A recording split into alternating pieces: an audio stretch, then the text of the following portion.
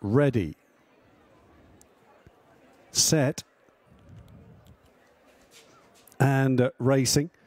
Just not done much favours from the start there was Sandy Paradise. Seven furlongs the trip. The download the At the Races app handicap is underway as they go through the first furlong. And it's the veteran Bobby Joe Leg who comes alongside Surprise Picture to take them down the back straight.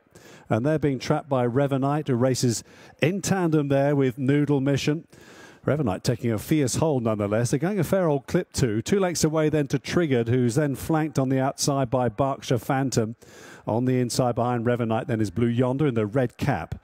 There follows then the yellow and purple colours of Eagle Day. Wyvern covered up behind these Thapper VC. Last of all, about seven off the speed then as they race down towards the final four and a half furlongs. Surprise Picture and Danny Muscutt out in front now as they go towards the three. On the outside there is Bobby Joe Leg with a chance. Still there pitching is Noodle Mission. Rob Hornby just inching closer there in the striped jacket as they come down the side of the course towards the turn into the straight. Revanite is next.